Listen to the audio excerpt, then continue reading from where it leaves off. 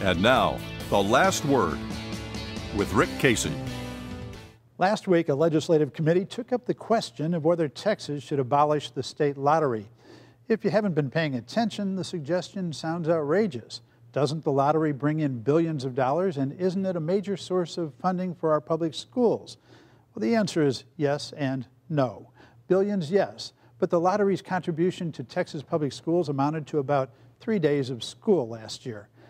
If the entire $4.4 billion taken in were spent on schools, that would go all the way up to 11 days.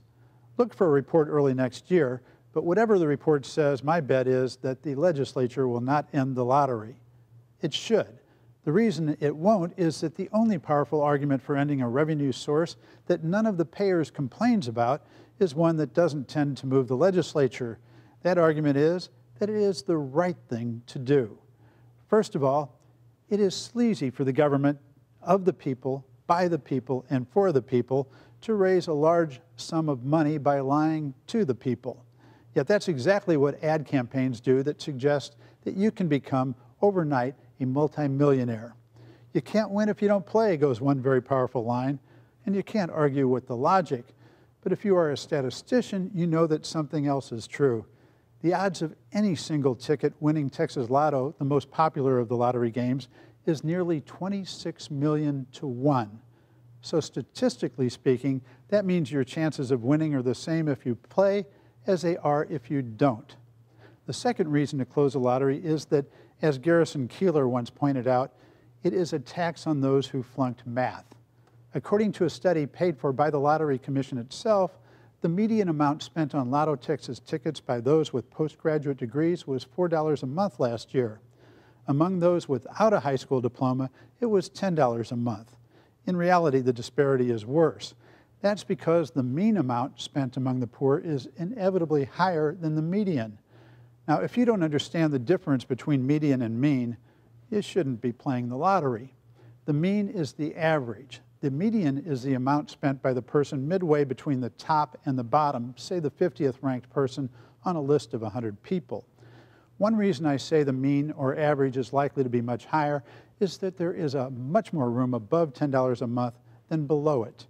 The other reason is that the lottery official study shows that the median monthly expenditure among Lotto Texas players last year was $5, but the mean was $13.69.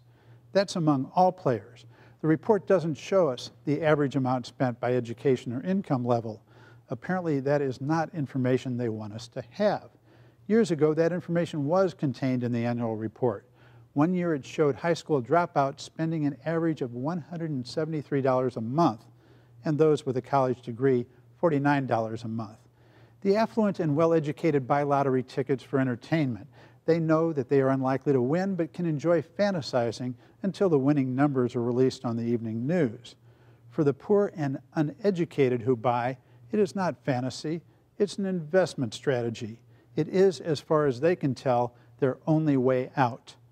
Last year, there was a significant jump in Lotto Texas playing, ranging from 10 to 15 percent among high school dropouts, persons making less than $20,000, and Hispanics the legislature should look at whether lottery ads were especially targeted at these groups.